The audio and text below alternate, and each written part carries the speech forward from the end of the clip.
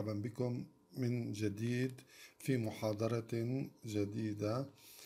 موضوعها هو نظرة عامة عن استقلاب شحميات الغذاء أي هضمها امتصاصها ومصائرها في الجسم.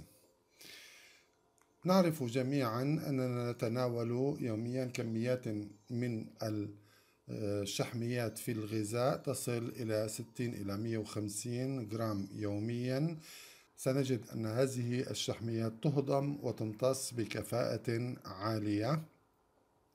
ولو نظرنا إلى تركيب هذه الشحميات سنجد أن أكثر من 90% منها عبارة عن تراي أسايل جليسيرول الموجود طبعا في الزيوت موجود في الأجزاء الدهنية من اللحم الموجود في السمنة في الزبدة إلى آخره وهي تشكل كما آه، واضح أمامنا أكثر من 90% من شحميات الغذاء. باقي شحميات الغذاء هي عبارة عن شحميات فوسفورية. آه، أرجو أن تحاول أن تتذكر ما هو الشرط الذي يجب أن يتحقق في الغذاء حتى يكون حاويا على الشحميات الفوسفورية أو على الاستيرولات وعلى رأسها طبعا الكوليسترول. أيضا هناك الكاروتينوئيدات وأيضا الفيتامينات الأربعة الذوابة في الدهون. هذه الشحميات سيتعامل مع الجسم أولا في المعدة حيث ستبدأ عملية الهضم ومن ثم تتابع في الأمعاء التي ستقوم بمعظم عمليات الهضم والامتصاص بمساعدة كل من الكبد الذي يفرز الصفراء بمحتوياتها وعلى رأسها الأملاح الصفراوية والشحميات الفوسفورية وأيضا بمساهمة البنكرياس الذي يفرز الإنزيمات الهاضمة. نعلم أن شحميات الغذاء ليست ذوابة في الماء ولكن نواتج هضمها بعضها يكون ذوابا في الماء كالحموض الدهنية قصيرة السلسلة والجليسيرول. ويمكن أن يتم امتصاصه بالانتشار عبر الدوران البابي ومن ثم يصل إلى الكبد. لكن معظم نواتج الشحميات هي مواد غير ذوابة في الماء تحولها الخلية الظهارية المعوية الكيلوسية إلى دقائق كيلوسية كيلوميكرونات شكل من أشكال البروتينات الشحمية تطلقها إلى اللنف ومن ثم تصل إلى الدوران الدموي لتصبح جاهزة لتقبطها الأنسجة وتستهلكها. أكثر هذه الأنسجة استهلاكا وقبطا لل دقائق الكيلوسية هي النسيج الشحمي والنسيج العضلي المخطط. بما فيه آه، عضلة القلب والعضلات الهيكلية. هذه الأنسجة تحتوي على إنزيم يدعى lipoprotein lipase سنتحدث عنه لاحقا. هذا الإنزيم غير موجود في الكبد ولذلك فالكبد لا يأخذ أبدا الدقائق الكيلوسية ولا يتعامل معها عندما تصل إلى الدوران في مراحلها الأولى. ال lipoprotein lipase يقوم بحلمهة ال triacylglycerol الموجودة داخل الدقائق الكيلوسية والتي تشكل معظم مكوناته داخل آه، الجسم. ماذا تفعل الأنسجة بنتائج أو نواتج حلمهة ال triacylglycerol والتي هي الفاتي أسيدز والجليسيرول؟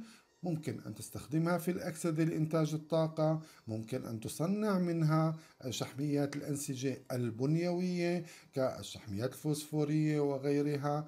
ويمكن أيضا أن تخزنها في النسيج الشحمي على شكل تراي أسايل جليسيرول إذا مع حلمهة ال triacylglycerol ستتحول هذه الدقائق الكيلوسية إلى جسيمات أصغر كثيرا تسمى chylomicron remnant بقاوات الكايلومايكرونات.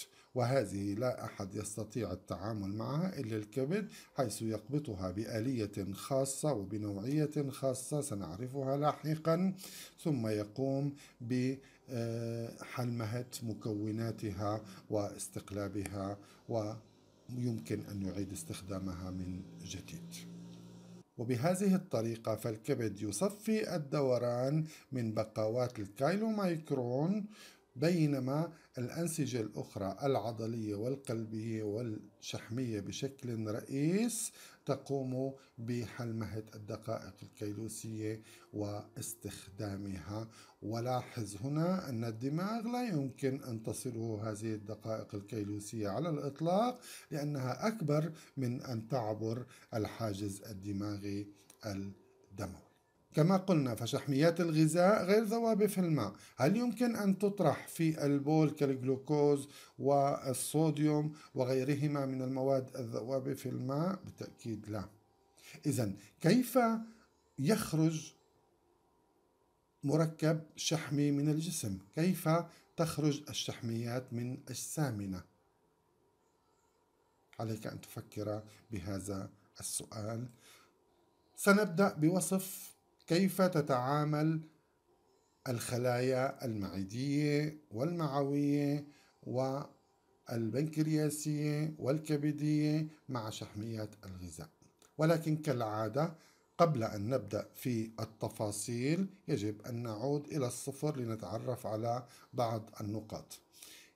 الرابطة الإستيرية هي رابطة مهمة جدا في الشحميات وهي تشكل معظم روابط الشحميات القابلة للحنمة وهي تتشكل ما بين كحول وحمض عضوي.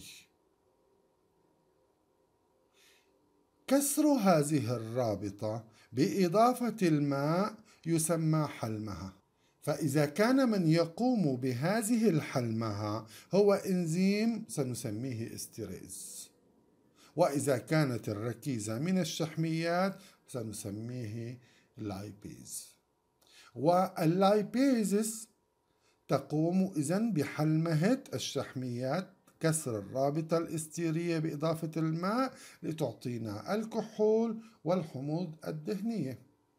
إذا من الآن عرفنا أن من نواتج هضم الشحميات هي الكحولات والحموض الدهنية إنزيمات اللايبيز أنواع كثيرة في الجسم منها اللسانية التي تفرز من خلايا مصلية موجودة في آخر اللسان على ظهره ومنها المعدية التي تفرز منها المعدة منها المعوية التي تعمل ضمن الخلية المعوية ومنها مجموعة الإنزيمات التي يفرزها البنكرياس كالليباز البنكرياسية و esterase الكوليستريل وال phospholipases بأنواعها وخاصة الفوسفولايبيز A2 لاحظ أن هذين الإنزيمين يعملان في وسط حمضي وهو وسط المعدة ولذلك يسميان acid stable lipases إنزيمات ال lipase الثابتة والمستقرة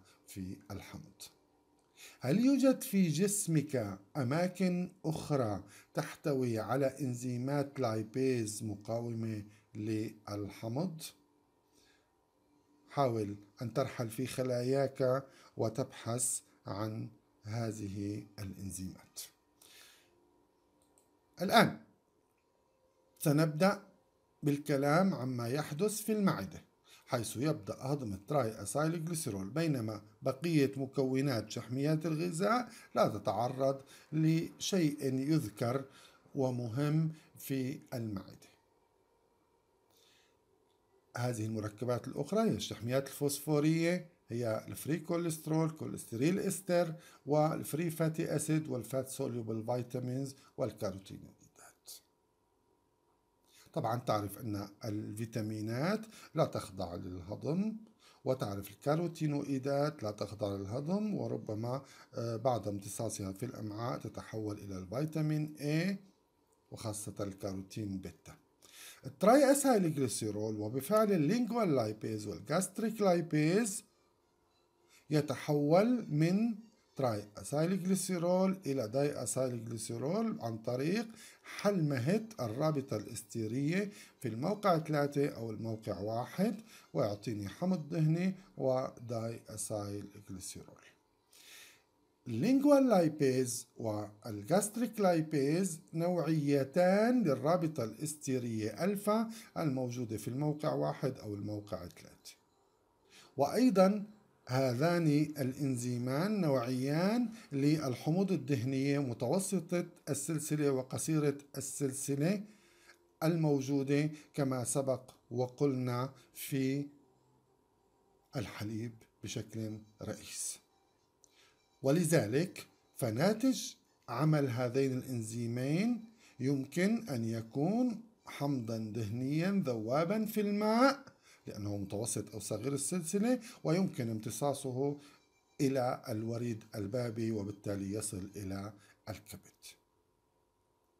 هذا يعني أن أهمية هذين الإنزيمين تكمن في دورهما الفعال عند حديثي الولادة لأن معظم طعامهم هو الحليب بمحتوياته من التراي أسايل وأيضا لأن الحليب يحتوي بشكل رئيس على كميات كبيرة من الحموض الدهنية متوسطة وقصيرة السلسلة.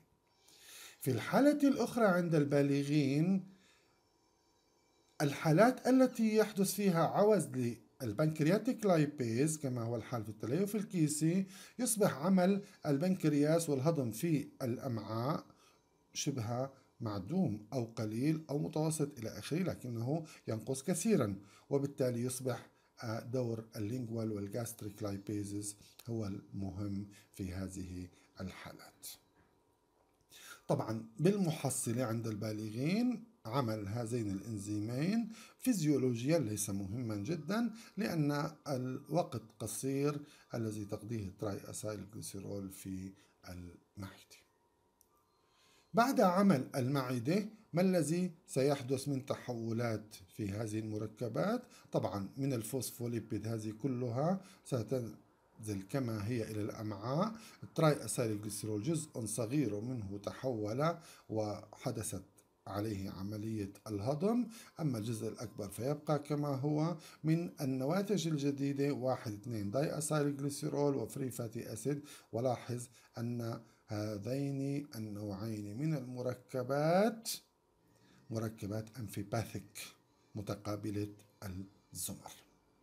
الآن لنذهب إلى الأمعاء و نرى ما الذي يمكن أن يجري لشحميات الغذاء هناك. حقيقة أيضا قبل أن نبدأ في هذه العملية يجب أن نتذكر معا أن الشحميات في معظمها وعلى رأسها تراي أسال جليسيرول هي مركبات غير ذوابة في الماء غير قطبية. وبالتالي إذا وضعت مع الماء فإنها ستشكل طورا خاصا منفصلا عنه. كما هو الحال إذا وضعنا ملعقة زيت في كأس من الماء فإنها ستطفو على السطح ويبقى الماء وحده. لكن هناك أنواع أخرى من المركبات الشحمية وغيرها يكون له بنية خاصة بحيث أن جزءا منه يحمل شحنة أي يكون قطبيا بينما الجزء الآخر يكون غير قطبي. كما هو حالة فوسفاتيديل الكولين أحد الشحميات الفوسفورية حيث يكون هذا الجزء قطبيا بينما الجزء الآخر غير قطبي. وأيضا الكوليسترول الحر يكون كل هذه النواة هذا الجزء كله يكون غير قطبي بينما ال OH المجموعة الهيدروكسيل تكون قطبية. وبالتالي هذه المركبات وأشكالها تكون مكونة من جزئين رأس قطبي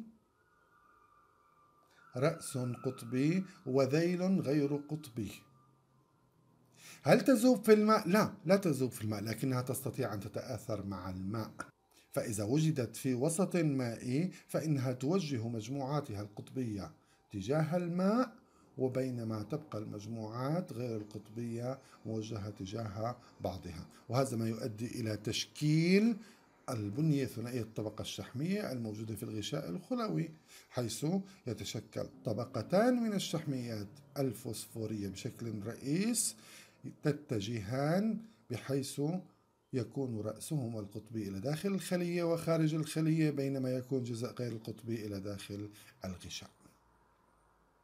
الشكل الآخر من التآثر ما بين الشحميات والوسط المائي هي أن ترتب نفسها بحيث يكون الرأس القطبي متجها نحو الماء والزيل غير القطبي متجها إلى الداخل. فيتشكل لب كاره من للماء هنا وبالتالي يستطيع أن يحمل معه المركبات غير الذوابة في الماء مثل التراي أسايل ومثل بعض الأدوية التي تكون غير قطبية ونحتاج إلى إدخالها إلى أماكن خاصة في الجسم. مثل هذا الشكل يسمى المثل أو المذيلة وهي تلعب دورا كبيرا في عملية هضم وامتصاص الشحميات. الأمر الآخر الذي يجب أن نتحدث عنه في هذا الإطار هو الاستحلاب. نعود إلى كأس الماء من جديد.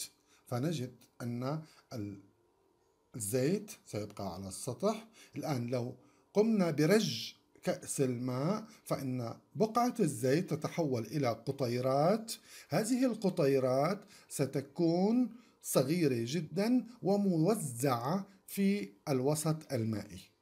لكن لو تركنا كأس الماء والماء بداخله يرقد سنجد بعد قليل أن هذه القطيرات الصغيرة ستتجمع من جديد وتطفو على السطح. الآن لو أعدنا التجربة بأن نضع مادة أنفيباثيك متقالبة الزمر مثل آه، سائل الجلي أو الصابون السائل أو إلى آخره من هذه المواد أو المنظفات وضعناها وضعنا كمية قليلة منها في كأس الماء وقمنا بالرج سيعود تشكل القطيرات الصغيرة ولكنها تبقى أكثر ثباتا في الماء بسبب وجود هذه الجزيئات متقابلة الزمر. هذا ما يسمى الاستحلاب. لماذا تكون أكثر استقرارا للقطيرات الصغيرة؟ لأنها ستكون محاطة بطبقة من الشحميات الفوسفورية على سبيل المثال أو أي مركب متقابل الزمر. هذه الطبقة ستكون بداخلها تراي أساريجليسرول أو الزيت أو القطيرات غير الذوابة في الماء وخارجها متآثر مع الماء وهي أكثر ثباتا في الوسط المائي وهذا ما سنجده عندما نتحدث عن الهضم. وبالتالي فعملية الهضم والامتصاص في الشحميات تبدأ بمرحلة تحضيرية وهي الاستحلاب. الاستحلاب الذي وصفناه الآن بكأس الماء. ماذا احتجنا حتى نحدث الاستحلاب في كأس الماء؟ احتجنا إلى أمرين. الأمر الأول احتجنا إلى الرج أي أنها عملية ميكانيكية. والأمر الثاني احتجنا إلى مادة متقابلة الزمر أنفيباثيك لتجعل القطيرات والمستحلب مستقرا. بداخل الأمعاء ما الذي يعطيني هاتين الوظيفتين. بالتأكيد الحركة الحووية المعوية ستقوم بعملية الرج وبالتالي تحول بقعة الزيت أو شحميات الغذاء في هذه الحالة إلى قطيرات صغيرة والمركبات الأنفيباثيك التي ستحيط بهذه القطيرات وتجعلها مستقرة وبالتالي المستحلب ثابت ما هي هذه الجزيئات الأنفيباثيك؟ بالتأكيد معظمها قادم من الصفراء وعلى رأسها الأملاح الصفراوية والشحميات الفوسفورية والكوليسترول الحر بعضها قادم من الغذاء كالشحميات الفوسفورية ونواتج هضمها أيضا بعضها قادم من ال triacylglycerol بعد أن تحدث عليه عملية الهضم حيث يعطينا 1 2 diacylglycerol وهو مركب amphipathic ال free fatty acid أيضا amphipathic وهما قادمان من المعدة كما وجدنا منذ قليل طيب ما هي أهمية وفوائد الاستحلاب في الهضم؟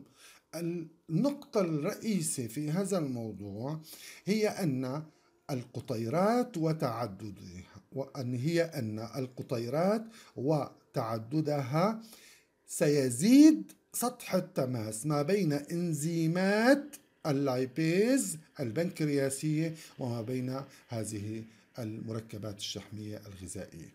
وهذا يعني أننا نستطيع القيام بعملية الهضم بأسرع وقت ممكن. وإلا وإلا تذهب هذه الشحميات إلى البراز وستؤدي إلى حالة تسمى الإسهال الدهني الآن ما هي المرحلة الثانية؟ هي مرحلة الهضم أي الحلمة بماذا؟ بال esterase بإنزيمات ال esterase التي تقوم بعملية حلمهة الرابطة الاستيرية من هم اللاعبون الرئيسون؟ بالتأكيد ال pancreatic lipase pancreatic colipase phospholipase A2 وال cholesteryl esterase أيضا البيكربونات مهمة لعمل هذه الإنزيمات التي كلها تحتاج إلى اتش مثلى قلوية لكن السؤال من الذي يستدعي هؤلاء اللاعبين من البنكرياس؟ حقيقة بمجرد وصول الطعام الحامضي من المعدة والشحميات إلى الصائم والاثني عشر يتم تحريض إفراز عدة مواد عدة هرمونات ومنها السكرتين. السكرتين يحرض البنكرياس على إفراز البيكربونات بينما الكوليسيستوكينين أو البنكريوزيمين C هو الذي يحرض على إفراز هذه الإنزيمات من البنكرياس. إضافة لذلك يقوم بإبطاء حركة المعدة وبالتالي دخول الطعام التدريجي وأيضا يقوم بإبطاء بعفوا وأيضا يقوم بتحريض الكبد على إفراغ الصفراء بمحتوياتها لتبدأ عملية الهضم كما نرى الآن. الآن داخل لمعة الأمعاء ستبدأ عملية الهضم باللاعبين المذكورين منذ قليل أولهم هو ال lipase ال lipase كما قلنا هي hydrolase هي esterase هي نوعية للرابطة الاستيرية الموجودة في الموقع ألفا أو واحد وثلاثة.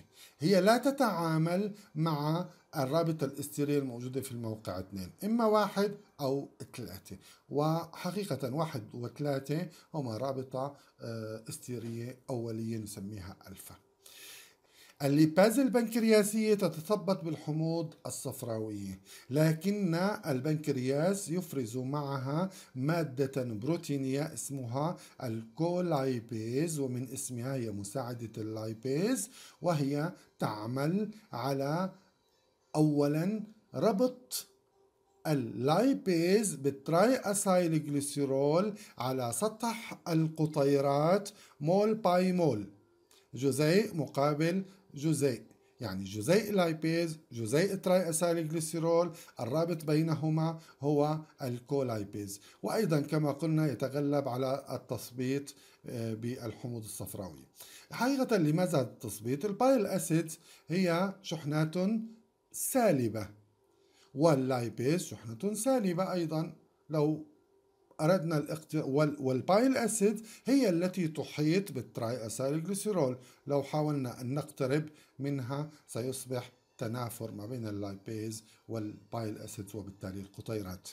ال colipase وهو amphipathic protein أيضا. amphipathic سيستطيع التآثر مع ال lipase ومع ال bile acids ويقوم بتقريب ال lipase إلى ال triacylglycerol أيضا ال lipase activated by phospholipid والكالسيوم. الكالسيوم حقيقه ما الذي يفعله؟ هو لا ينشط الإنزيم بحد ذاته لكن لنبدأ هنا بالتفاعل. سنجد أن التفاعل الأول سينتج الحمض الدهني يعني triacylglycerol بال lipase البنكرياسية سيعطي واحد اثنين diacylglycerol و fatty acids لو بقي ال fatty acid في موقعه هنا وتراكم هذا التفاعل سيتثبط الكالسيوم يرتبط مع ال fatty acid ويأخذها بعيدا عن موقع التفاعل وهو بهذه الطريقة يسمح للتفاعل بالاستمرار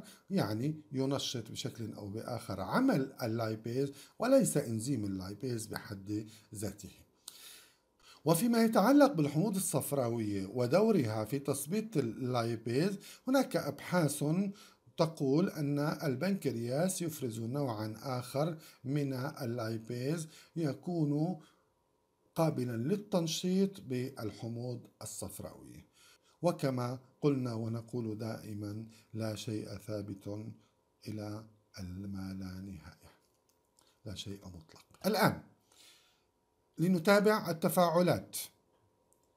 بعد أن يعمل على الموقع ثلاثة سيعطيني فاتي أسيدز وواحد اثنين ثنائي أسيل الجليسيرول يتابع العمل على الموقع واحد يعطيني أيضا fatty acid واثنين monoacylglycerol الآن اثنين monoacylglycerol لا يتعامل معها الليباز ما الذي يجري؟ يقوم إنزيم آخر isomerase بمصاوغة اثنين أحادي أسيل الجليسيرول إلى واحد أسيل الجليسيرول. أي أنه يقوم بنقل الأسيل من الموقع 2 إلى الموقع الواحد وحقيقة هي عملية بطيئة بشكل أو بآخر. الآن عندما يصبح الأسيل في هذا الموقع يستطيع الليباز التعامل معه من جديد بالحلمهة حلمهة. الرابطة الاستيرية يعطي fatty acid والناتج النهائي هو الجليسيرول. إذا في النهاية سيتشكل لدينا من ثلاثي أسيل الجليسيرول كميات من الحموض الدهنية كميات من ثنائي أسيل الجليسيرول وكميات من الجليسيرول بشكل أو بآخر وبنسب متفاوتة سنعرفها بعد قليل ما الذي يجري في الخلية المعوية للشحميات الفوسفورية؟ مرة أخرى نتذكر بنية الشحميات الفوسفورية الجليسيرولية هذا جليسيرول في الموقع واحد مرتبط حمض دهني في الموقع اثنين مرتبط حمض دهني أيضا في الموقع ثلاثة مرتبط الفوسفات ومن ثم أساس نيتروجيني كالكولين والإيثانولامين والسيرين والإينوسيتول إلى آخره. الإنزيمات التي تعمل على حلمهة الشحميات الفوسفورية نسميها ال phospholipases وهي أنواع كما سبق ودرسنا. النوع المهم هنا والذي يعمل هنا بشكل رئيس ويأتي من البنكرياس هو ال phospholipase A2 الذي يحلمه الرابطة الأستيرية الموجودة في الموقع 2 يعني على عكس الليباز البنكرياسية التي تعمل على الرابطة ألفا هو يعمل على الرابطة بيتا. هذا الإنزيم أيضا activated مع ال colipase بالتريبسين. ماذا يعني هذا الكلام؟ يعني أن ال colipase وال phospholipase A2 يصلان إلى المعدة inactive عاطلين غير فعالين. التريبسين تقوم بعملية الشطر الحال للبروتين وتحولهما إلى الشكل الفعال. أيضا مطلوب لعمل هذه الإنزيمات شوارد الكالسيوم بشكل أو بآخر لتحجب الشحنات المركب الآخر المهم هو الكوليسترول بشكله المؤستر ماذا سنفعل به؟ أيضا هناك إنزيم cholesteryl esterase الذي يفرزه البنكرياس أيضا يقوم بحلمهة الرابطة الاستيرية الوحيدة الموجودة ما بين الكوليسترول والحمض الدهني وبالتالي يعطينا أيضا حمض دهني وكوليسترول حر free cholesterol مع الفوسفوليبيد أيضا نأخذ حموض دهنية ويتحول الفوسفوليبيد إلى lysophospholipid وحاول أن تتذكر لماذا يسمى lysophospholipid عندما ننزع الحمض الدهني من الموقع 2 من الشحميات الفوسفورية الآن. ما هي نواتج الهضم إذا؟ انظر إليها. قد يتبقى القليل جدا من ثلاثيات أسيل الجليسيرول. قد يتبقى واحد اثنين ثنائي أسيل جليسيرول قد يتبقى أحادي. إلى آخره جليسيرول حر حموض دهنية فوسفو. كل هذه المركبات يمكن دو. لكن بشكل رئيسي لدينا عدة مركبات هي التي تبقى كما سنرى بعد قليل. ولكن دعونا نصنف هذه المركبات كما يلي اثنين monoacylglycerol long chain fatty acid واحد monoacylglycerol phospholipid إلى آخره free cholesterol lysophospholipid من جهة هذه مركبات من جهة. glycerol short chain fatty acid medium chain fatty acid ما الفرق بين المركبات المكتوبة بالأزرق وتلك المكتوبة باللون الآخر؟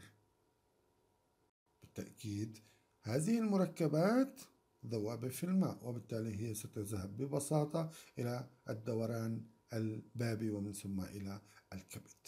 أما هذه المركبات فهي بعضها أنفيباثيك وبعضها غير ذواب في الماء لذلك أو كلها غير ذواب في الماء بشكل أو بآخر لذلك فامتصاصها سيتطلب عملية أخرى تتواسطها الحموض الصفراوية التي ذكرنا منذ قليل أنها تشكل مذيلة تستطيع أن تأخذ هذه المركبات معها. إذا كانت هذه المركبات أمفيباثيك يمكن أن تبقى على السطح وإذا كانت غير ذوابة على الماء غير قطبية يمكن أن تصبح في الداخل وبالتالي تتشكل الميكسد مسلز أو المذيلة المختلطة. وكلمة مختلطة هنا تعني أنها تحوي على المركبات القادمة من الصف الآن أصبحت شحميات الغذاء موجودة داخل هذه المذيلات في لمعة الأمعاء. كيف ستدخل إلى المخاطية المعوية الخلايا المخاطية المعوية؟ حقيقة هذه المركبات الأنفيباثيك تسمح لها بأن تسبح بشكل أو بآخر في الوسط المائي وتقترب من الغشاء الخلوي الموجود للخلايا المعوية الظاهرية الموجودة على الحافة الفرشاتية. ومن هناك يتم نقل هذه المركبات نواتج الهضم إلى داخل الخلية المعوية عن طريق الانتشار. يبقى في المكسد مثل فقط الأملاح الصفراوية التي يعاد امتصاصها مرة أخرى من اللفائف الجزء الأخير من الأمعاء الدقيقة. يعاد امتصاصها إلى الكبد حيث يعاد استخدامها من جديد. الآن إذا قلت لك أن الأملاح الصفراوية أصلا تصنع من الكوليسترول والأملاح الصفراوية التي تطرح في الأمعاء يعاد امتصاص حوالي 98 بالمية منها مرة ثانية إلى الكبد وليعاد استخدامها من جديد. ماذا يفيدنا أن نعطي مريضا ما دواء يمنع إعادة الامتصاص هذه وبالتالي يبقي الأملاح الصفراوية في الأمعاء ويطرحها في البراز؟ لأي حالة تتوقع أن نعطي هذا الدواء وكيف سيستفيد. هذه النواتج أصبحت الآن كلها داخل الخلية المعوية المخاطية. ما الذي سيحدث هناك؟ تعالوا نرى. كما قلنا منذ قليل فإن العملية تصل إلى مجموعة مركبات يأتي على رأسها المركبات التي تراها أمامك. 2 أحادي أسيل الجليسيرول واحد أحادي أسيل الجليسيرول والجليسيرول. والحموض الدهنية بالتأكيد. سنتحدث الآن عن هذه النسب وهي ليست أرقاما مطلقة كما تشد كما تشاهد هنا about 72% نحو 72% 6% تقريبا 22% تقريبا. هذا يعني لو أن 100% من ال triacylglycerol 100 مركب فإن 72% 72 مركب سيبقى على شكل 2 أحادي أسيل جليسيرول وهي النسبة العليا. 6% سيبقى على شكل أسيل الجليسيرول و22% سيتحلمه بشكل تام إلى جليسيرول وحموض دهني. الآن ما هو مصير الجليسيرول؟ الجليسيرول مادة قطبية ذوابة في الماء وبالتالي ستمتص إلى الدوران البابي ومن ثم إلى الكبد وبالتالي الكبد هو الذي يتلقى الصدمة الأولى من جليسيرول الشحميات الغذائية بعد الجليسيرول يخضع لعملية التفعيل بواسطة كيناز الجليسيرول الذي تحوله التي تحوله إلى الجليسيرول 3 فوسفات وهو يصبح جاهزا للعمل طالما أنه مفعل ويمكن أيضا تذكر أننا عندما تحدثنا في تحلل السكر قلنا أن إحدى وظائفها هي إعطاء الجليسيرول 3 فوسفات ليتم استخدامه بماذا؟ بتخليق ال triacylglycerol إذا نستوحي الآن من هذا المنظر أن الشحميات التي امتصيناها triacylglycerol التي امتصيناها ولم تذهب إلى وريد الباب سنعيد تشكيلها على شكل triacylglycerol وسنأتي إلى ذلك مرحلة مرحلة. الآن هل تتوقع من الحموض الدهنية أو ال triacylglycerol نفس المصير الخاص بالجليسيرول أي أنها تعبر إلى وريد الباب أو أن يتم انتشار ال triacylglycerol من لمعة الأمعاء إلى داخل الخلية المعوية. ماذا عن مصير واحد أحادي أسيل الجليسيرول؟ الذي يشكل 6% من النواتج. حقيقة بمجرد وصوله إلى داخل الخلية المعوية المخاطية المعوية يتعرض لعمل الليباز المعوية التي تقوم بحلمهة الرابطة الإستيرية في الموقع واحد لتعطي الحمض الدهني ويتحول إلى جليسيرول الذي يمكن أيضا تفعيله بطريقة كيناز الجليسيرول. ماذا عن مصير الحموض الدهنية بمجرد أن تدخل تدخل إلى تجميعة الحموض الدهنية يأتي الإنزيم الذي تحدثنا عنه في بحث الأكسدة البيولوجية والطاقة وهو مخلقة أسيل التميم ألف acyl-CoA synthetase التي تحول الحمض الدهني إلى شكله الفعال أسيل التميم ألف بربطه بال CoA المشتق من البانتوثينيك وبحلمة اي تي بي إلى ام بي زائد بي بي اي أيضا الحمض الدهني الذي جاءنا من هنا يخضع لنفس عمل مخلقة وبالتالي أحصل على أسيل التميم ألف. الآن أصبح لدينا كميات من أسيل التميم ألف أي حموض دهنية مفعلة وجليسيرول مفعل تأتي إنزيمات تسمى ناقلات الأسيل تربطهما مع بعض لتعطي مرة أخرى triacylglycerol. هذا السبيل من تحول الحموض الدهنية والجليسيرول إلى triacylglycerol يسمى سبيل حمض الفوسفاتيديك. لأنه حقيقة في أول مراحله ننقل أسيل التميم ألف إلى الموقع ألف ومن ثم إلى الموقع الثاني بيتا فيصبح لدينا واحد اثنين diacylglycerol phosphate وهو حمض الفوسفاتيديك كما سبق ودرسنا. ولذلك اسمه حم سبيل حمض الفوسفاتيديك phosphatidic acid pathway. وحقيقة هذا السبيل سنجده موجودا في خلايا كثيرة أخرى غير الخلية المعوية كالخلية الكبدية والخلية الشحمية والخلية الدماغية وخلايا أخرى كثيرة موجودة وتقوم بتصنيع ال triacylglycerol عند الحاجة أو تستخدم سبيل حمض الفوسفاتيديك ماذا عن مصير 2 monoacylglycerol؟ لاحظ أن الأمر مختلف عن هنا. لا يوجد لدي pancreatic lipase لتقوم بحلمهة الرابطة بيتا. لذلك يبقى كما هو. تقوم ناقلات الأسيل أيضا بنقل أسيل التميم ألف إلى الموقع واحد والموقع ثلاثة ليتشكل مرة أخرى triacylglycerol هذا السبيل يسمى 2 monoacylglycerol pathway سبيل أحادي أسيل جليسيرول وهو موجود في الجسم فقط في الخلية المخاطية المعوية.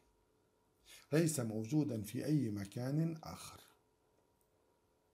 الناتج إذن هو triacylglycerol إذا أستطيع القول أن معظم ال triacylglycerol التي تناولناها أصبحت الآن مرة أخرى تراي أسايل جليسيرول باقي النواتج بعضها قد ذهب إلى وريد الباب وبعضها يبقى في الأمعاء. الآن هناك مواد أخرى من نواتج الهضم. شحميات الفوسفورية ستدخل إلى داخل الخلية المعوية. ال lysophospholipid أيضا سيدخل إلى داخل الخلية المعوية وسيتم نقل أسيل التميم ألف إلى الموقع 2 ويتحول مرة أخرى إلى phospholipid. cholesterol ester سيدخل إلى داخل الخلية المعوية. ال free cholesterol سيدخل أيضا وبنفس الطريقة نعطيه أسيل التميم ألف ونحوله إلى cholesterol ester من جديد عن طريق ناقلات الأسيل للكوليسترول والفيتامينات أيضا ستدخل. لكن أرجو أن أنتبه إلى أن آه، بعض ال free cholesterol يبقى كما هو وبعض ال phospholipids أيضا تتم حلمهتها بشكل تام إلى مكوناتها المختلفة ولكن يبقى جزء من هذين النوعين من المركبات كما هو بحالته الكاملة. في نهاية المطاف ستدخل الفيتامينات إلى داخل الخلية كما تشاهد والآن أصبحت المواد الغذائية أو معظم المواد الغذائية الشحمية موجودة في داخل الخلية المعوية لكن مع مشكلة كبيرة. ما هي هذه المشكلة؟ هذه المشكلة هي أن أكبر كمية هي ال triacylglycerol وال cholesterol ester والفيتامينات غير ذوابة في الماء. هل أستطيع أن أرسلها في الدوران حيث الوسط المائي؟ بالتأكيد لا. هل أستطيع أن أرسل هذه المركبات إلى الدوران الدموي إلى الدم؟ أيضا لا. صحيح أنها amphipathic ويمكن أن تتآثر مع الماء لكنها ليست ذوابة فيه إلى الحد الذي يسمح للحياة بأن تسمح لها بأن تعبر وتدخل إلى الدوران الدموي كما يفعل الجلوكوز والحموض الأمينية والصوديوم والماء وإلى ذلك كيف نحل هذه المشكلة؟ هنا يجب أن نتعرف على مفهوم جديد في الشحميات ألا وهو البروتينات الشحمية حقيقة بعد الطعام لدي مشكلة كبيرة في عملية نقل المواد الشحمية إلى الدوران.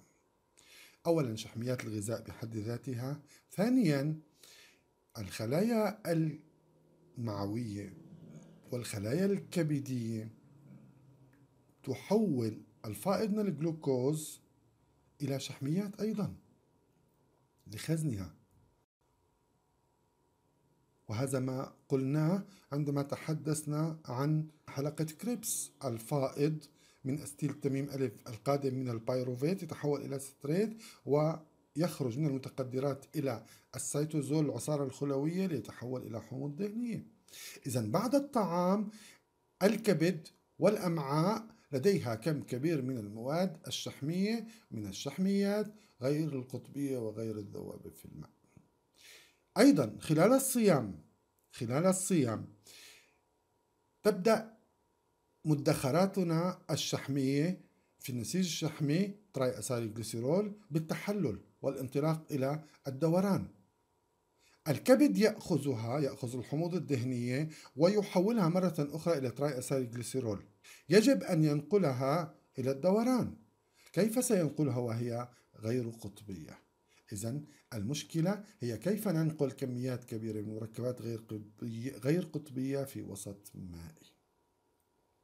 الحل هو أن نربط ما بين الشحميات غير الذوابة في الماء triacylglycerol و cholesterol ester مع شحميات متقابلة الزمر amphipathic مثل ال phospholipid وال free cholesterol ونربط هذا المزيج مع البروتينات.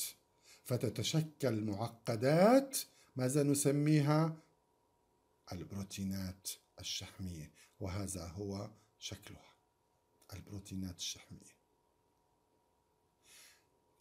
نستطيع اذا أن نقول أن البروتينات الشحمية هي عبارة عن لب كاره للماء يحتوي على المواد الشحمية غير القطبية بشكل رئيسي triacylglycerol وال cholesterol ester والفيتامينات الذوابة في الدهون محاط هذا اللب محاط بطبقة من الشحميات متقابلة متقالبة الزمر phospholipid و free cholesterol وأيضا بعض البروتينات. هذه البروتينات نسميها الصمائم صمائم البروتينات الشحمية apoproteins أو apolipoproteins الآن هذه الصمائم نوعان إما integral صميمية أو اندماجية كما تشاهدون هذا البروتين أو peripheral محيطي كما تشاهدون هذا البروتين. والحقيقة الفرق بين الاثنين ليس كما يظهر في الصورة أن أحدهما في الداخل والآخر في الخارج لا أبدا هذا ليس شرطا. الفرق بين الاثنين هو أن البروتين الاندماجي أو الصميمي لا يمكن أن أفصله عن البروتين الشحمي إلا إذا خربت البروتين الشحمي كله. أما البروتين المحيطي الصميم البروتيني المحيطي فببساطة يمكن أن أفصله عن البروتين الشحمي دون أن أخربه. وهذا يعني كما سنجد لاحقا وكما يجب أن نفهم لاحقا أن البروتين الصميمي يبقى مع البروتين الشحمي منذ ولادته وحتى تقويضه نهائيا. أما المحيطي فيمكن أن يأتي ويذهب وبالتالي يمكن أن أنقل هذه الصمائم البروتينية المحيطية ما بين بروتين شحمي وآخر في الدوران وهذا له دور كبير في استقلاب هذه البروتينات الشحمية كما سنرى لاحقا طيب كيف نسمي هذه البروتينات الشحمية؟ حقا تسميتها بدأت بأن أعطيها أحرف كبيرة وفق تسلسل اكتشافها. لذلك أول صميم بروتيني شحمي سمي A ثم B ثم C إلى آخره. لاحقا وجد أن كل نوع من هذه الأنواع يحتوي على أنماط فرعية. نعطيها أرقام A1 A2 C1 C2 C3 E1 E2 3 4 إلى آخره. هناك حالة خاصة فقط هي حالة الصميم البروتيني B. نسميه B 48 وهو يخلق في الأمعاء ويرتبط مع ال chylomicron فقط وال B 100 الذي يخلق في الكبد ويرتبط مع VLDL أرجو أن تتذكر لماذا أعطينا هذين النوعين من الصميم بهاتين التسميتين. الآن ما هي وظائف هذه الصمائم البروتينية؟ الوظيفة الأولى هي الذوبانية غير الاعتيادية أي أن هذه البروتينات الصمائم البروتينية ذوابة جدا في الماء وهو ما يسمح لها بأن تحمل هذه المركبات غير القطبية بكمياتها الكبيرة وتعبر فيها إلى الدوران وإلى الأنسجة المختلفة حيث مواقع استخدامها. الوظيفة الأخرى هي أن هذه الصمائم تعمل كتمائم إنزيمية أو تمائم عاملة أي أن عمل الإنزيمات لن يتم إلا بوجود هذه الصمائم. سنجد لاحقا أن الصميم C2 هو التميم لإنزيم ال lipoprotein lipase الذي ذكرناه في أول المحاضرة وهو الذي يقوم بحلمهة ال triacyl أي استخدام ال triacylglycerol الموجودة في كل من الدقائق الكيلوسية و بروتينات شحمية أخرى تسمى ال VLDL وال IDL أيضا الصميم A1 هو تميم إنزيمي لإنزيم آخر مهم في عمل ال HDL وهو ال lecithin cholesterol acyl transferase بعض الصمائم البروتينية تعمل ligand ربيطة. لو عدت إلى الوراء قليلا تذكر أن بقاوة ال chylomicrons تأخذها الخلايا الكبدية تقبطها الخلايا الكبدية. طب كيف تتعرف عليها؟ تتعرف عليها من خلال بعض الصمائم البروتينية وفي هذه الحالة تسمى ال ligand حيث المستقبلات تتعرف على البروتين الشحمي من خلال هذا ال ligand وهذا ما سنجده عندما ندرس أن ال B مية هو الذي يعرف مستقبلات خاصة على ال LDL وال E هو الذي يعرف مستقبلات خاصة على ال وعلى بقاوات ال chylomicron التي ذكرناها في بداية هذه المحاضرة. هناك أيضا صمائم بروتينية وظيفتها الوحيدة هي أنها بنيوية كما هو الحال في أنواع الصميم أو نوعي الصميم اللذين نعرفهما حتى الآن. هناك صمائم أيضا تقوم بعملية نقل الشحميات مثل الصميم دي الصميم دي يسمى أيضا البروتين الناقل لاستيراد الكوليسترول cholesterol ester transfer protein. وعمله أيضا في البلازما حيث يقوم بنقل كما تشاهد إستر الكوليسترول إلى من بروتين شحمي إلى آخر بالتبادل مع ال triacylglycerol كل هذه سندرسها بالتفصيل لاحقا عندما ندرس البروتينات الشحمية. ومع كل الدراسات والأبحاث تبقى الكثير من الصمائم البروتينية غير معروفة الوظيفة وتحتاج إلى أبحاث إضافية أخرى. الآن كيف عرفنا أنواع هذه البروتينات الشحمية في البلازما؟ كيف يمكن أن نفصلها؟ كيف أطلقت عليها التسميات المختلفة وما هي أنواعها؟ حقيقة هناك طريقتان لفصل البروتينات الشحمية في البلازما.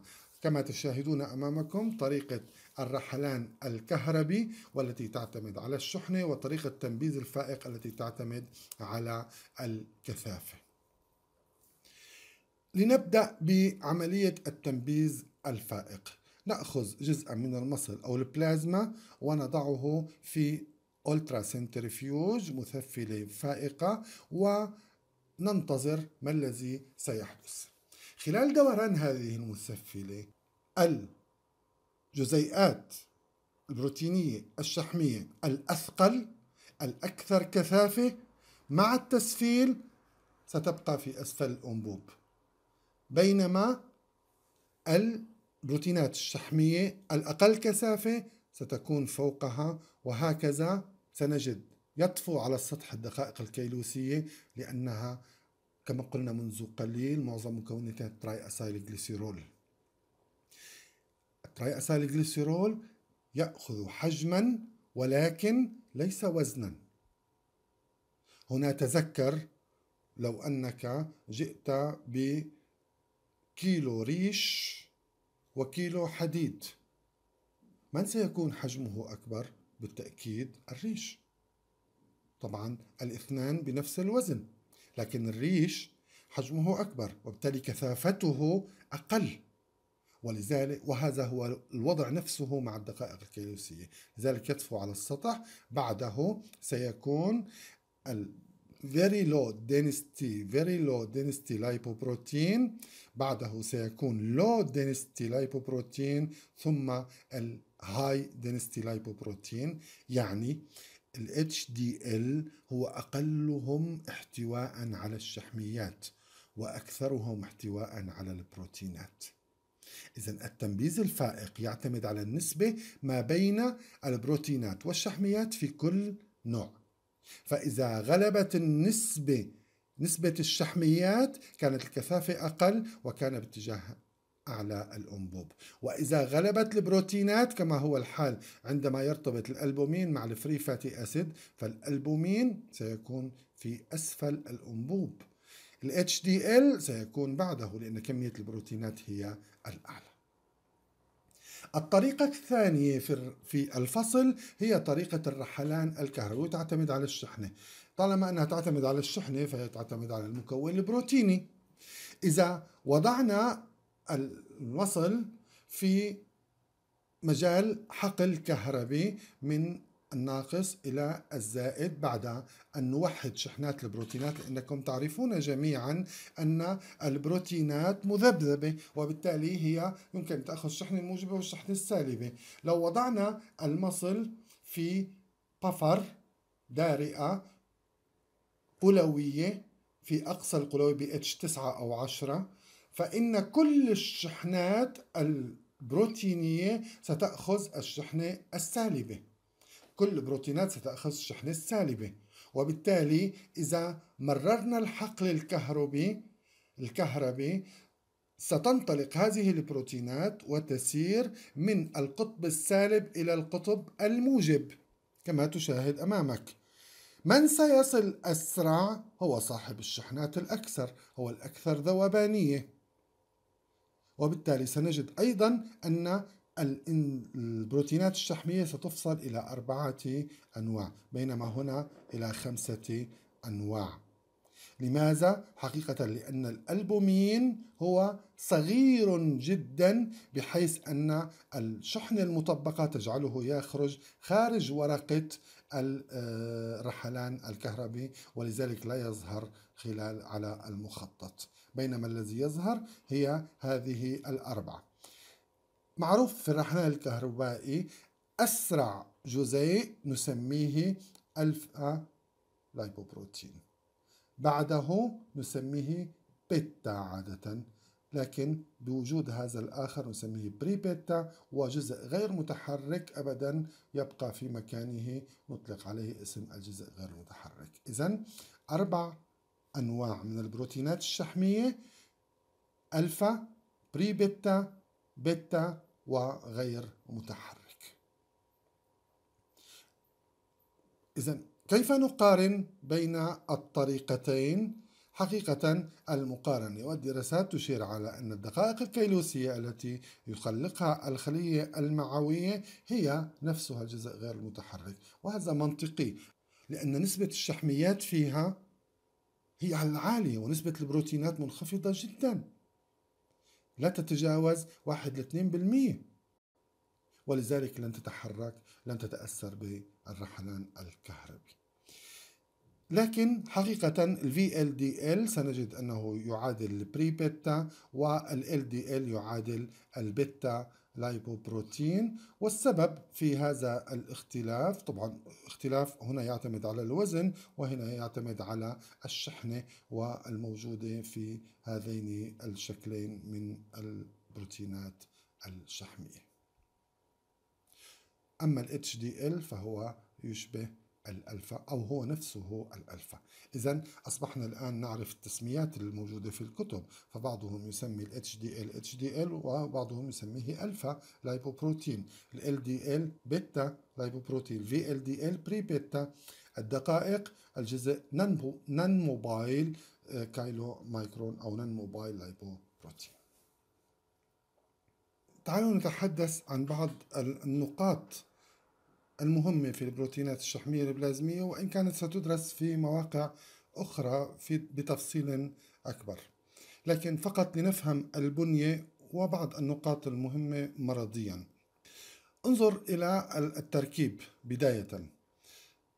هذه هي الألوان وهذا هو التعريف. الأحمر كوليسترول بأشكاله والأصفر هو acylglycerol والأزرق هو البروتين.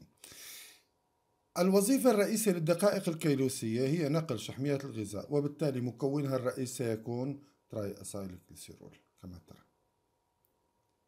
وبالتالي حجمها سيكون الأكبر لأن 90% من مكوناتها عبارة عن triacylglycerol وشحميات بحجم كبير. تمام؟ الوظيفة الرئيسية لل VLDL هي نقل الشحميات المخلقة في الكبد من سكريات الغذاء بعد الطعام أو نقل الشحميات الناتجة عن أسترة الفاتي أسيد القادمة من النسيج الشحمي في حالة الصيام من الكبد إلى الدوران وبالتالي أيضا نسبة 60% من مكوناته تراي أسايل جليسيرول لذلك فهو حجمه يأتي بعد الدقائق الكيلوسية ال LDL هو نتاج انتبه نتاج حلمهة ال triacylglycerol الموجودة في ال VLDL وبالتالي نسبة ال TG ستنخفض ستزداد بالمقابل نسبة الكوليسترول. لذلك LDL البنية المكونة الرئيسي له هي الكوليسترول.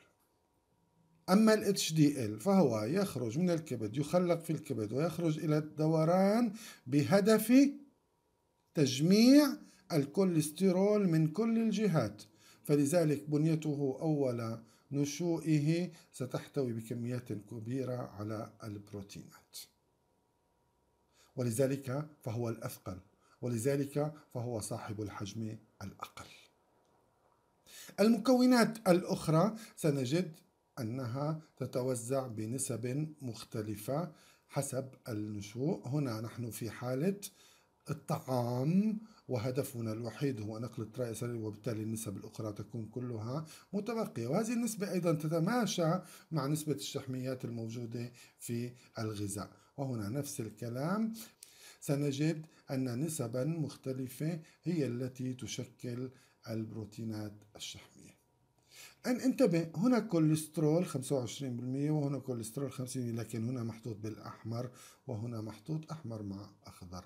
لماذا؟ تسمعون جميعكم عن الشحميات السيئة والشحميات الجيدة.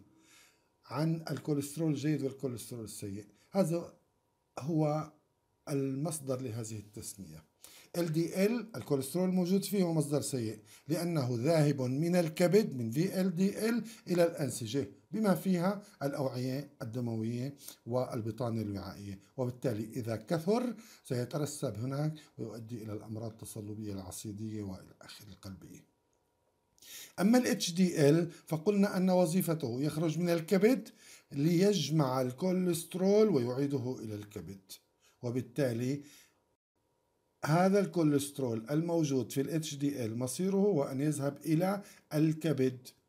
طالما ذهب إلى الكبد فهو يمكن أن يطرح خارج الجسم لأن الكبد يستخدم الكوليسترول في تحويله إلى الحموض الصفراوية كما وجدنا أو تكلمنا منذ قليل. الآن هناك نقطة مهمة جدا أن هذه الأرقام مرة أخرى ليست نهائية. يعني الدقيقة الكيلوسية الكيلومايكرون الذي خرج للتو من اللمف إلى الدوران لن تكون نسبة 90% بعد قليل 90% لأن الأنسجة ستبدأ باستخدامه 90% ستنخفض وبالتالي ستزداد هذه النسب. نفس الشيء ال VLDL ستستخدمه الأنسجة ستنقص ال triacylglycerol انتبه من 60 إلى 8% في ال LDL الكوليسترول من 20 إلى 50% هذا لا يعني أن كمية الكوليسترول زادت هنا إطلاقا. إنما النسبة المئوية هي التي زادت وهذه النسبة المئوية للترايسيلجليسرول هي التي انخفضت. بطريقة أخرى الدقائق الكيلوسية صاحبة الشحميات الأعلى حجمها هو الأكبر VLDL يليها وأصغرها هو ال HDL بالمقابل الكثافة أكثرها بروتينات هو ال HDL وبالتالي هو صاحب الكثافة الأعلى يليه ال LDL density ثم الدقائق الكيلوسية وتتوزع النسب الباقية كما تعرفون ترايسالجليسيرول أعلى شيء هنا. أظن بهذه الطريقة تكون قد أخذت فكرة عن النسب والتوزع والمكونات والوظائف الرئيسة للبروتينات الشحمية. بقي نوع آخر مهم جدا من البروتينات الشحمية وإن كان صغيرا هو ال lipoprotein A small. ال lipoprotein A small ال lipoprotein A small هو نفسه ال LDL إذا كمية عالية من الكوليسترول نفسه ال LDL لكن يحتوي على صميم بروتيني آخر يسمى ال apo A إنما small. انتبه هذا الوحيد الصميم البروتيني الذي يعطى الحرف A سمول الصغير. الباقي كل الصمائم البروتينية تعطى الحرف الكبير أما هذا فيعطى الحرف الصغير. هذا ال apo A الصميم البروتيني A آه، له مشكلة كبيرة عند الأشخاص آه، الذين نجد عندهم ال LBA عالي. LBA عالي يعني حدوث مشاكل قلبية وتصلبية عصيدية وعائية ما السبب يا ترى؟ نعلم جميعا نحن أن البلازمينوجين يؤدي إلى انحلال الخسارات التي نعرف أن نعرف جميعا أنها دائما تتشكل في الدم وفي الجسم. يقوم البلازمينوجين بحلها. هناك منشطات للبلازمينوجين الذي يقود إلى انحلال الخثرة. ال apo A يشبه هذه المنشطات وبالتالي يحل مكان المنشطات لكن لا يستطيع تفعيل البلازمينوجين وحل الخثرات. وهذا يعني أن الخثرات تتشكل أكثر وبالتالي يعني إمكانية التصلب العصيدي والأمراض القلبية والاحتشاءات أكبر. النقطة الأخرى المهمة انتبه أن الكوليسترول عندما يزداد سيحدث تصلبا عصيديا. وال lipoprotein A عندما يزداد ال apo A سيحدث زيادة في الخثرات بسبب عدم انحلالها. لكن زيادة ال chylomicron أو زيادة ال VLDL في الدم سيزيد لزوجة الدم لأن اللزوجة مرتبطة بالأحجام الكبيرة وال chylomicron وال VLDL أحجامها كبيرة. وبالتالي وبالتالي عندما تزداد في الدم يزداد لزوجة الدم وهذا يعني بطء جريان في الدم وهذا يعني زيادة احتمال تشكل الخثرات أكثر. تعالوا نعود مرة أخرى إلى مشكلتنا الأساسية في الشحميات. التي امتصيناها وأيضا الشحميات التي يتم تخليقها في الخلية المعوية كما قلنا من السكريات والفائض من السكريات أو غيرها كل هذه تتجمع والآن موجودة ولا أستطيع نقلها بالدوران إلا بتشكيل البروتين الشحمي ما الذي يحدث؟ كما قلنا بتعريف البروتين الشحمي نقوم بربط هذا الجزء غير القطبي مع أجزاء أمفيباثيك تحيط بها كما تشاهدون أمامكم.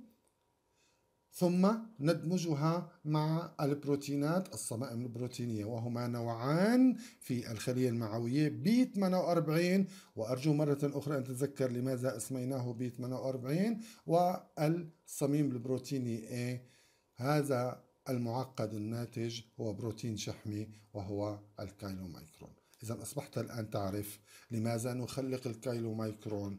أين نخلق ال chylomicron؟ ماذا يحتوي ال chylomicron؟ ما هي مكونات ال chylomicron؟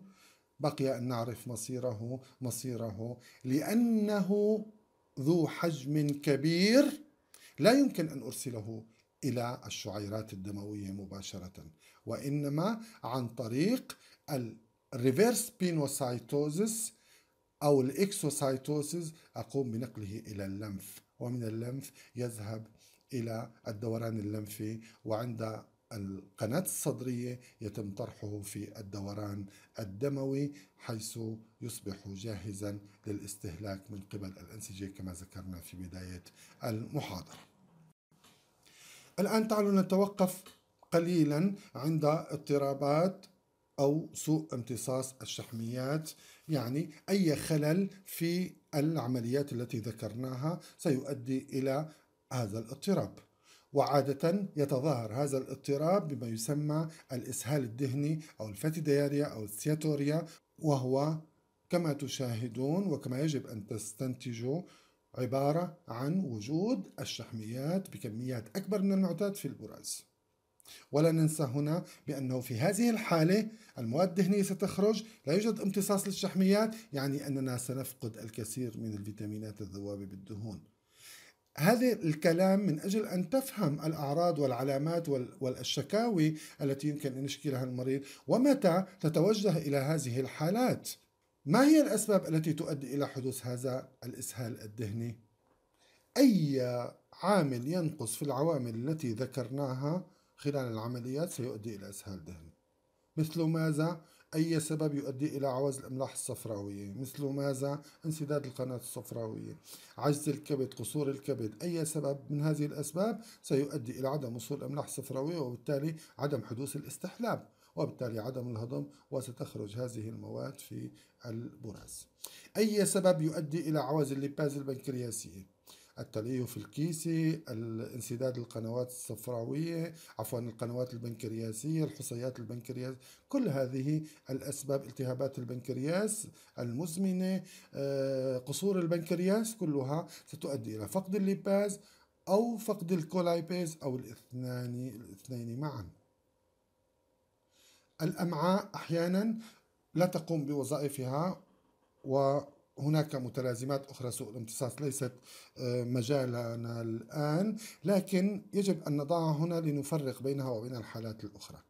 كيف نفرق الأسباب الثلاث انسداد صفراء يعني عوز أملاح صفراوية انسداد بنكرياس يعني عوز ليباز أو colipase أو سوء امتصاص عامة. عدة طرائق موجودة. أسواء الامتصاص العامة يكون الخلل ليس فقط في الشحميات. وإنما أيضا في المواد الأخرى. يعني سيحدث آه، خروج للبروتينات ويحدث خروج للسكريات وإلى آخره واسواء امتصاص ويحدث نقص في البروتينات ونقص في السكريات عند المريض. أما في الحالتين انسداد الصفراء والبنكرياس فالمشكلة فقط في الشحميات يعني في خروجها بشكل إسهال دهني وفي غياب الفيتامينات الذوابه في الدهون. ولو أن أعراض وعلامات نقص الفيتامينات الذوابه في الدهون ستأخذ وقتا طويلا لتظهر. الآن كيف نفرق بين أن المشكلة في الكبد أو المشكلة في البنكرياس؟ الحقيقة يكفي إجراء تحليل البراز للتفريق بين هاتين الحالتين. فإذا كانت العملية انسداد الصفراء تعالوا نتخيل انسداد الصفراء يعني لا يوجد استحلاب ما الذي سيحدث؟ ما الذي سيخرج في البراز؟ حاول أن تفكر وتفرق بينها وبين غياب الليباز أو ال colipase. يعني يوجد استحلاب ولكن لا يوجد هضم. لا يوجد هضم يعني تراي أساليب ستبقى كما هي. هنا يوجد بعض الهضم. في انسداد الصفراء يوجد بعض الهضم. يوجد لا يوجد امتصاص اطلاقا لأن الأملاح الصفراوية مهمة جدا جدا في الامتصاص. اذا ما الذي سيخرج في البراز في الحالتين؟ أرجو أن تصل إلى الجواب. الآن أصبح الكايلومايكرون موجودا في الدوران وسنتحدث بالتفصيل عن مصائره عن طريقة تعامل الأنسجة معه. كما تشاهد أمامك TG الطعام. تناولناه في الأمعاء الدقيقة الأوعية اللمفوية ثم إلى الدوران. ال chylomicron الناشئ الجديد الذي يخرج من الخلية المعوية يحتوي على ال B 48 و A الصمائم. ومعظمه كما تشاهد triacylglycerol وكمية قليلة من الكوليسترول وال phospholipids في المحيط. هذا الكائن يسمى chylo nascent chylomicron أو الوليد. حقيقة هذا الوليد لا يتعامل معه أحد في الجسم. لكن عندما يصل إلى الدوران الدموي ويختلط بباقي البروتينات الشحمية سيصادف ال HDL ال HDL غني بالصمائم البروتينية C بأنواعها وال E بأنواعها.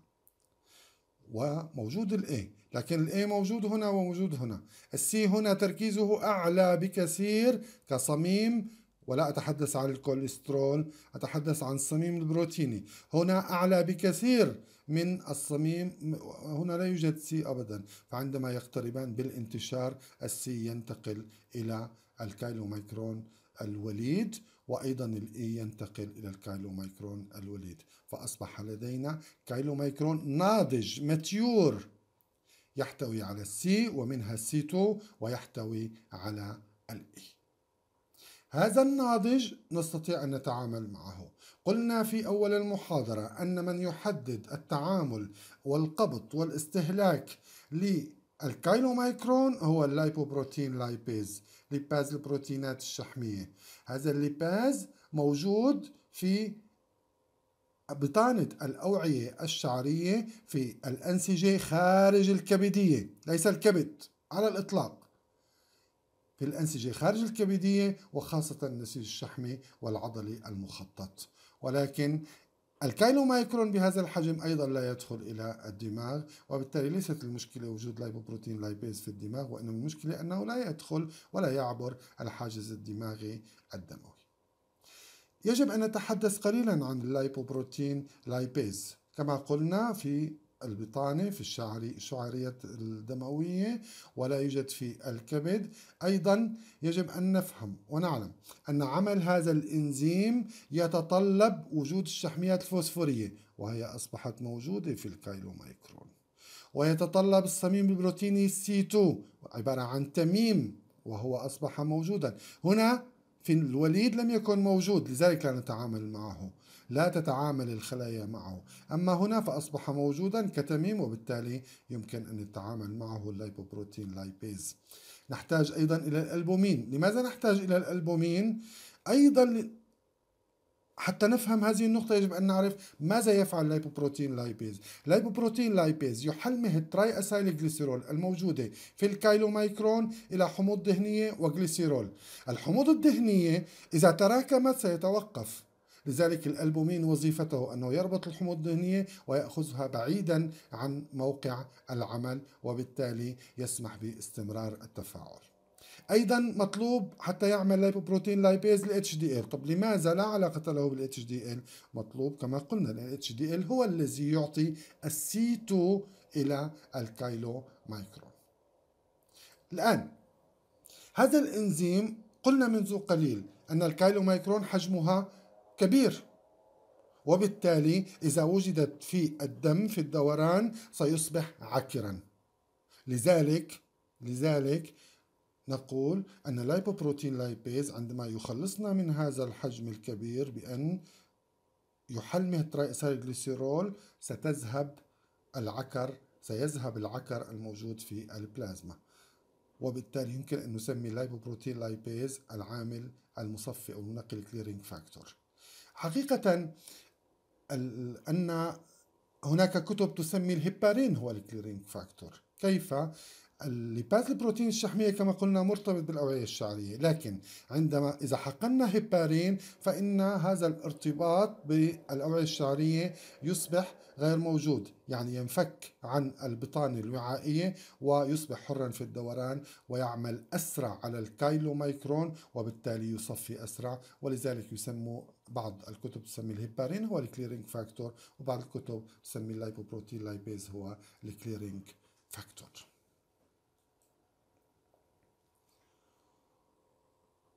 ال lipoprotein lipase بهذه الطريقة يقوم بحلمهة 90% من ال triacyl وبالتالي سيتناقص الحجم جزئيا.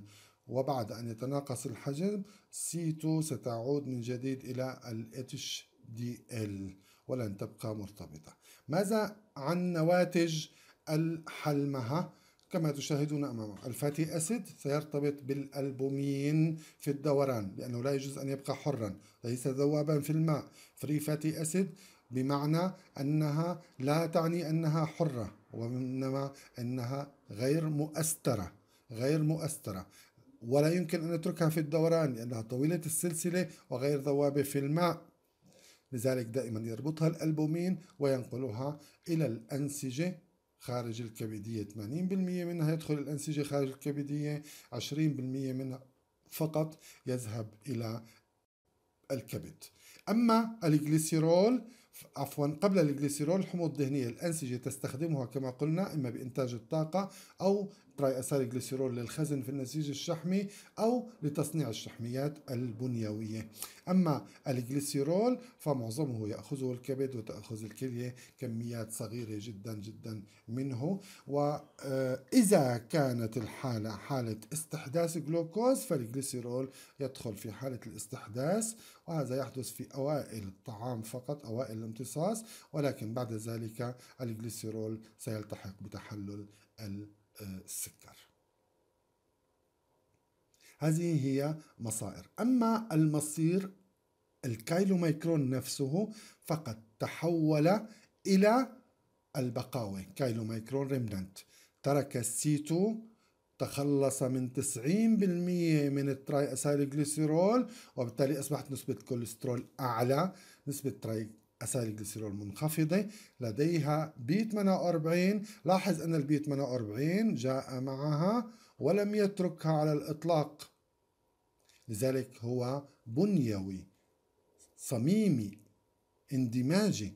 أما ال E فجاءه أصلا من ال HDL ال C جاءه من ال HDL وعاد إلى ال HDL ال A تركه وذهب إلى ال HDL وبقي فقط ال E هذه الصمائم البروتينية اي سي اي اي نسميها صمائم محيطية ليه؟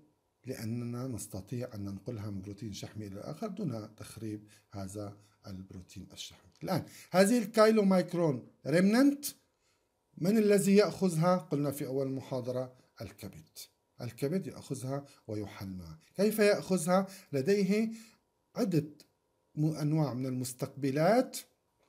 لدينا مستقبلات LDL مستقبلات LDL حقيقة هي بالأصل تتعرف على ال B100 الذي سنراه مع ال VLDL وال LDL وال IDL إلى آخره.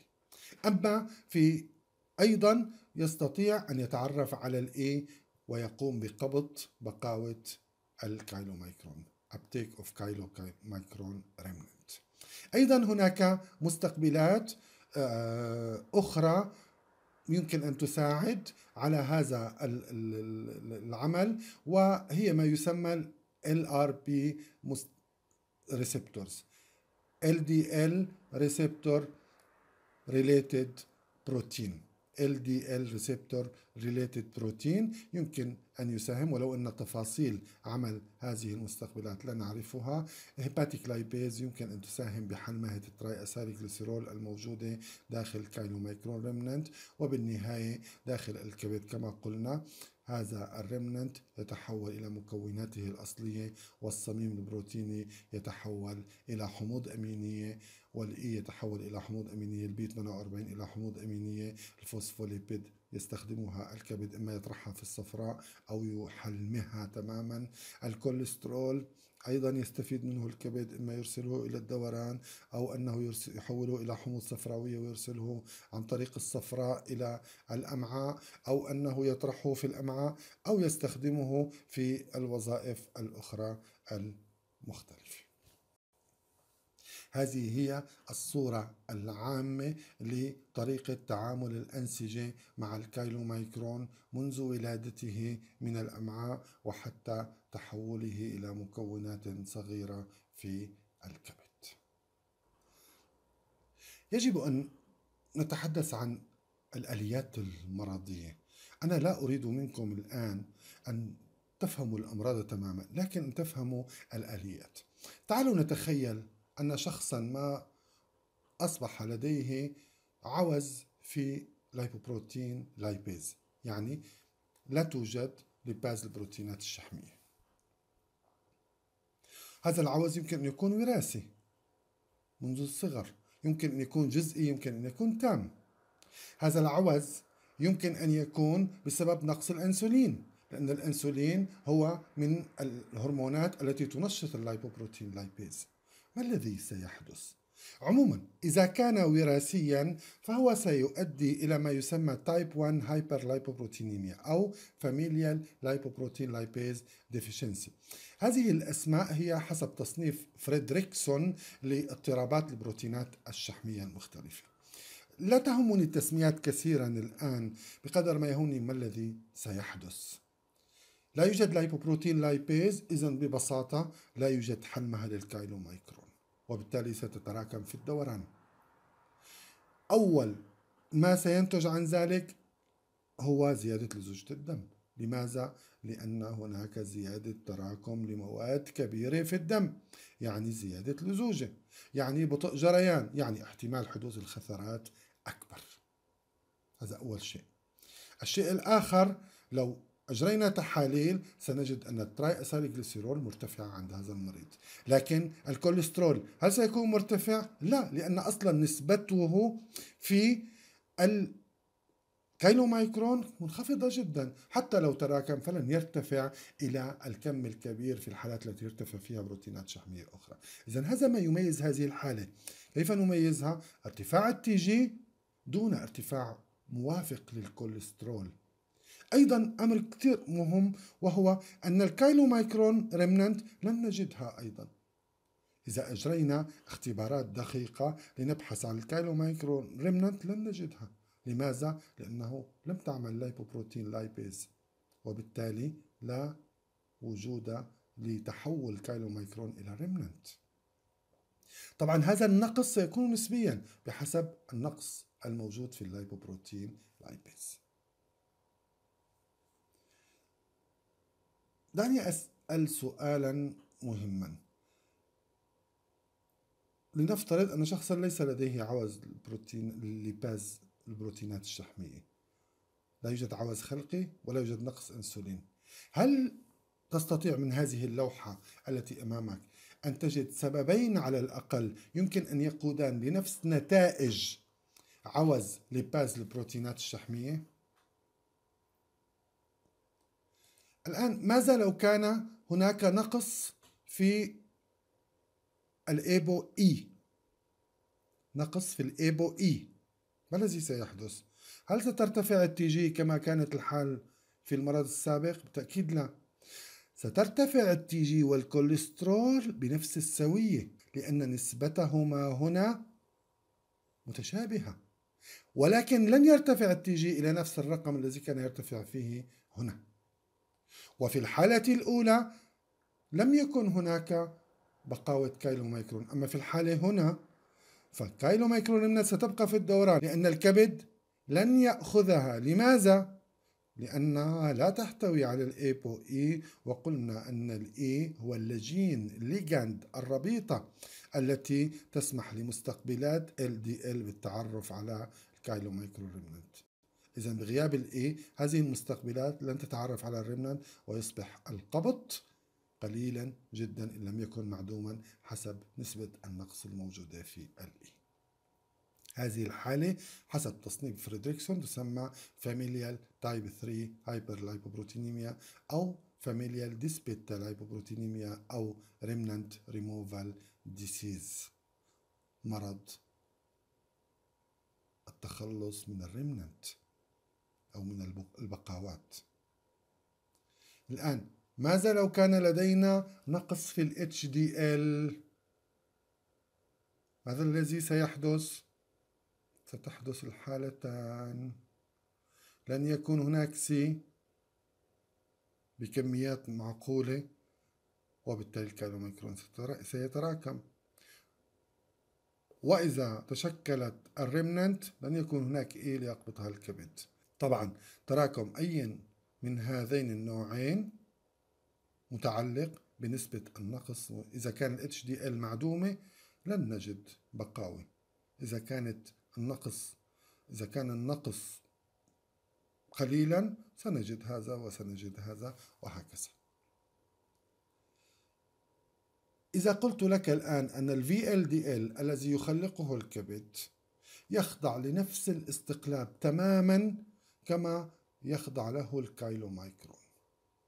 يتحول من وليد إلى ناضج و lipoprotein lipase تعمل نفس العمل وتعطي البقايا الذي اسمها في هذه الحالة ال ثم ال ال ستجد أن نقص ال LPL سيؤدي إلى تراكم ال TG وتراكم ال TG أكثر من ال lipo من ال VLDL وبالتالي ستتفاقم الحالة أكثر. لكن انتبه في كلا الحالتين التراكم هو TG والجزيئات كبيرة وبالتالي هو يؤدي إلى زيادة اللزوجة وإلى زيادة احتمال الخثرات وسبب بطء جريان الدم ولكن ليس إلى حالات تصلبية عصيدية التي يكون العامل الرئيس فيها هو الكوليسترول وارتفاعه. الآن الاستخدام من قبل الأنسجة كما قلنا إما لإنتاج الطاقة الأكسدة بيتا أو أكسدة ألفا أو الأكسدة أوميغا ولكل من هذه الأنواع وظائفها أو أن أستخدم الجليسيرول dihydroxyacetone إلى ال glycolysis هل يمكن أن يفيدني هذا في استحداث الجلوكوز؟ حقيقة في هذه اللحظات يكون الاستحداث قد توقف. التخزين على شكل triacylglycerol كما قلنا أين يتم هذا التخزين؟ بالتأكيد في النسيج الشحمي وهي آه، كمخازن للطاقة أفضل بكثير من السكريات لأنني بنفس الحجم أستطيع أن أخزن كم أكبر من الطاقة لأن الشحميات لا تحتاج إلى الماء. أما السكريات حتى الجليكوجين هو آه، يحتاج إلى الماء وبالتالي وجود كميات من السكريات سيجذب الماء إلى داخل الخلايا وهذا ما لا يفعله قطيرات الشحم الموجودة في النسيج الشحمي. النقطة الأخرى هي تشكيل الشحميات البنيوية في كل خلايا الجسم. انتبه التخزين في النسيج الشحمي فقط. الأكسدة في معظم الخلايا الاستحداث إن ساهم فيه ففي الكبد أو الكلية أما الشحميات البنيوية ففي كل خلايا الجسم بلا استثناء. النقطة التي يجب أن نذكرها هنا وبسرعة هو أنك يجب أن تعرف أن لدينا آه، الشحميات في الجسم تكون في نوعين شحميات الأنسجة أو البنيوية وهي الموجودة في جميع الخلايا والشحميات المدخرة هي الموجودة على شكل قطيرات في النسيج الشحمي ووظيفتها الخزن إلى حين الحاجة. وأهميتها طبعا تعرف أن البنيوية في أهميتها في الأغشية وفي المتقدرات وفي غمد النخاعين العزل. أيضا هنا أهمية المدخرات أنها آه، طاقة عزل حراري عزل ميكانيكي. تذكر أن النسيج الشحمي عازل ميكانيكي وعازل كهربي وبالتالي هو ويحمي الأعضاء ويسمح بنقل السيالة العصبية. بالتأكيد المكونات تعرفوها الشحميات البنيوية معظمها شحميات فوسفورية بينما المدخرة معظمها تراي أسايل جليسيرول تكون غنية بالحموض المشبعة في النسيج الشحمي لكن هنا في الشحميات الفوسفورية والكوليسترول وإلى آخره من هذه الأشكال تكون غنية بالحموض الدهنية الضرورية وغير المشبعة. إذا تختلف ليس فقط في نوع الجزيئات الشحمية وإنما أيضا في مدى احتوائها على الحموض الدهنية الضرورية. التبدلات انتبه أن شحميات الأنسجة ثابتة وأساسية وبالتالي لا تتغير حسب الحالة الغذائية ولذلك تسمى العنصر الثابت. وإن كانت هذه التسمية ليست دقيقة. العنصر الثابت يعني أنه لا يتغير أبدا. لا هي الحقيقة دائما في حالة ديناميكية. أنت تعرف الغشاء الخلوي دائما وفي حالة تشكيل وتقويض.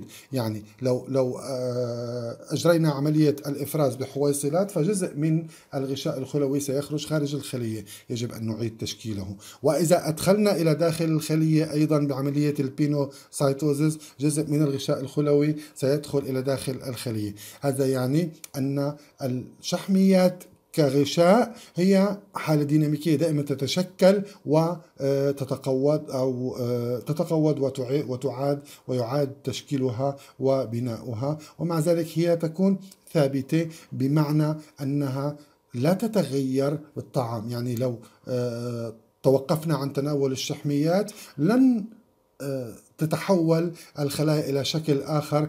تنقص فيه عدد الشحميات الفوسفورية على الإطلاق. أما في الشحميات المدخرة فهي تتأثر تماما بالحالة الغذائية وبنوع الحالة الغذائية وبمكونات الغذاء ولذلك هي تسمى العنصر المتغير. فنعلم تماما أن كل ما تناولنا طعاما آه، أغنى بالحريرات سيزيد النسيج الشحمي. كلما تناولنا طعام أكثر بالسكريات والشحميات وخاصة المشبعة سيزيد حجم النسيج الشحمي. إذا دخلنا في مرحلة صيام أو أنقصنا من طعامنا السكريات والشحميات سيحتاج الجسم إلى الاعتماد على مخزونه من الطاقة وبالتالي ستتغير كمية الشحميات المدخرة وليس نسبها آه، فقط. الآن النقطة الأخيرة الإطراح أو الإفراز. أرجو منكم مرة أخرى أن تفكروا كيف يمكن أن تخرج الشحميات من أجسامنا. آه، تذكر مثلا المرضع. تذكر مثلا أن الخلايا تموت وتتوسف وتموت خلايا الجلد خلايا المخاطية المعوية خلايا السبيل البولي خلايا السبيل التناسلي. تذكر أيضا آه، عندما تبقى أياما طويلة دون أن تغسل شعرك فما الذي يحدث؟ أرجو أن تكونوا قد استفدتم. وكل عام وأنتم بألف خير وإلى اللقاء في محاضرة أخرى.